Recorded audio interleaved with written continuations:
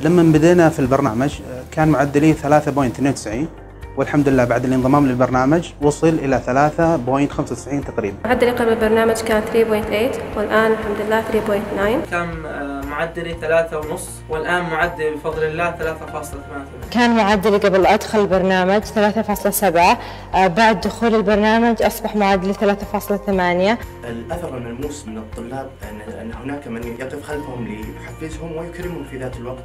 أثر البرنامج علي كبير في رفع مستواي الدراسي ومعدلي. قدم البرنامج لنا التكريم وهذا ما يبحث عنه كل شخص سواء طالب أو آه، موظف أو غير ذلك. كان حافز لي آه، لتحدي نفسي أو الوصول للمعدل المطلوب. جلب الشخصيات التي يقتدى بها من الناحية العلمية. القائمين عليه كان لهم دور كبير فعال في نجاح البرنامج. هذا من أهم الأدوار التي تدفع الطلبة إلى أن يكونوا من ضمن الطلاب المتفوقين والمكرمين. أشكر القائمين على البرنامج لتعاونهم معنا ورفع مستوى الدراسة. بتقديم خالص الشكر والتقدير على جهودهم المبذولة آه، التي أثمرت في هذا التدريب الدور كان واضح.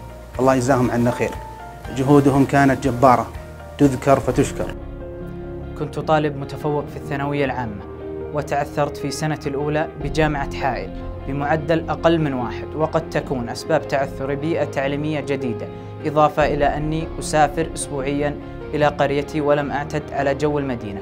واليوم تجاوزت هذه العثرات وأنا من ضمن المتفوقين في برنامج متفوقون نعم بمعدل 3.5 من أربعة